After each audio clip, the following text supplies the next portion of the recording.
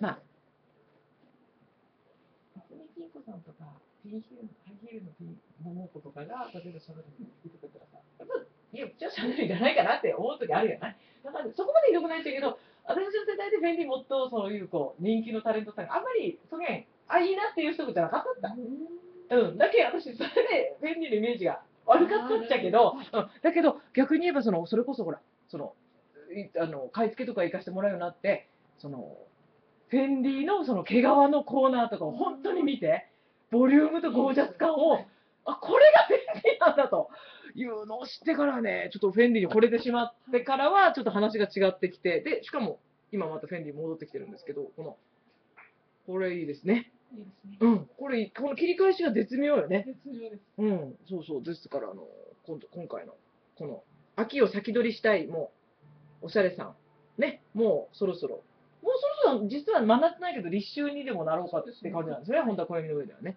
そういう意味で、あの、フェンディの、秋色バッグが、スタイリッシュだけども、行き過ぎず、あの、使えるそうな。使いやすいですね。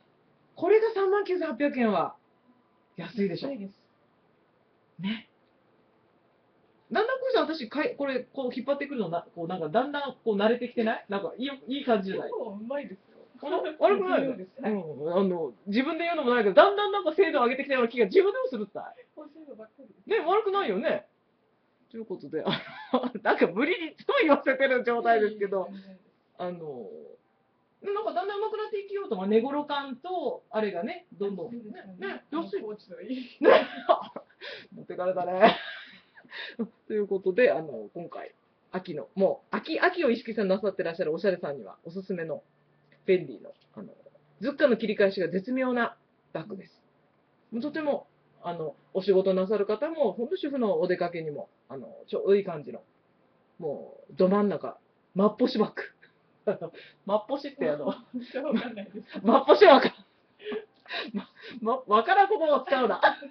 ということで、以上、あの、飛び入りで、今日本日のおすすめをあのしております。はい。で、あとは、あの、静止画の方は担当の和江さんが、あの、ブログの方で紹介、あの、すると思いますので、うシさんがね、あの、和江さんが、あの、紹介しようと思ってるバッグも、私もそれ好きなバッグです。うん。ということで、今日はこんな感じで、はい。